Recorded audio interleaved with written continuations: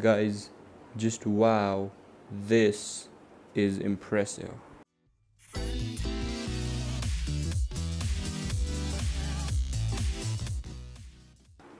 Well guys i've been running the MIUI 12 based ROM MemeUI RC6 by a really kind guy Raj57 on Telegram or Raj53 I think. But anyway uh, the fluidity of this ROM is just next level. It's the smoothest MIUI 12 ROM I've ever uh, run like the stutters are um, minimal because he has modified the launcher. But anyway do watch this uh, video in 60 fps because why not? That will be that way you would be able to experience the smoothness i'm talking about. So let's get started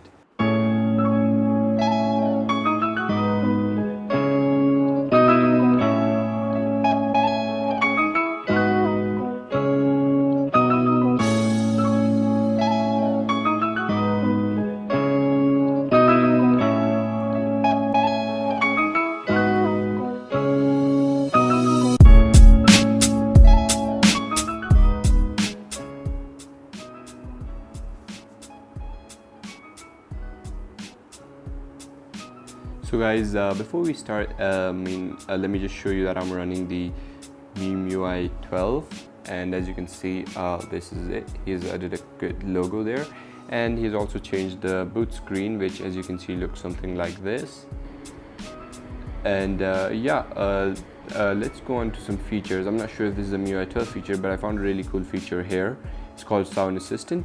And whenever you're playing some media it pops up another bubble here which you can um, so you know multiple sounds at the same same time from different apps and that's a really cool feature. But um, uh, other than that he has uh, smoothened out the launcher as I said and to do that he changed the launcher and modified a few things. So it is not the same launcher as EU it only has uh, the 4x6 and 5x6 layout options. But other than that it's pretty much the same but you can't like double tap to uh, turn off the screen so anyway i want to do the super fast app opening uh, app opening uh, test. It's not like um, like uh, how long that app stay but just like for the smoothness. So let's close everything firstly. And i'm gonna do a few apps. So let's go youtube and messaging and uh, play store and uh, let's just not go there because why not? And let's go here. And uh, as you can see now i'm gonna open them super fast. So let's see this I've been able to do on AOSP too but obviously AOSP is still a smoother like it feels 60 fps this is just stutter free and it's the best MIUI experience I've had so far. But anyway um, yeah. By the way guys as you might have noticed some really cool uh, unlocking animations that I have put and he has uh, put four of them. So as you can see this is this is uh, one of them. And uh, here as you can see the, the the the animation is still the same but once you actually change them they are actually different. So as you can see this is the other one we find in AOSP ROMs too. But uh, and this is the McLaren Edition OnePlus 7 Pro or 7T Pro. And uh, and uh, yeah so these are the four animations. But uh, yeah I like this one the most okay so if you've noticed that I'm running the OnePlus 8 Pro live wallpaper and they work really really well. So in order to install them uh, it's just a quick uh, you just need to download the zip in the description and flash it with Magisk and this is just gonna add the wallpapers then just download the wallpapers app from Google Play Store. And then these are the four.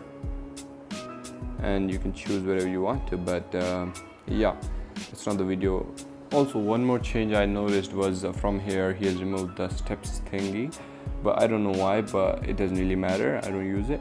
But as you can see uh, other than that this ROM is is no issues. Uh, whatever you can use it as daily driver no issues. Battery life I haven't been able to test it yet. Seems okay just MIUI average. Nothing so special you can change the kernel if you want to but I recommend sticking to stock because uh, that's where I got the fluidity. I didn't try changing it also guys he has changed the battery icon back to MIUI 11 because he likes it. You can change it back uh, hit me up on telegram if you want to do that. But anyway he's also changed the VoLTE icon. As you can see he has put the asus one like that's on asus phones. But uh, yeah the flashing uh, process is pretty simple. If you're encrypted you will need to wipe internal storage. If you're not encrypted you can just flash the rom flash uh, DFE right after. Obviously, you need to wipe wipe Dalvik system cache and data before you flash any ROM. But anyway, uh, that's been it for this video. I'm making gonna make a soon. Uh, I'm gonna make a video soon called about the about the Masick um, ROM, which just came out like a couple of hours ago. But uh, yeah, uh, please don't forget to like, share, and subscribe please subscribe for more content but that's been it for this video please don't forget to like share and subscribe and uh, this was Alam from Tech Boss signing off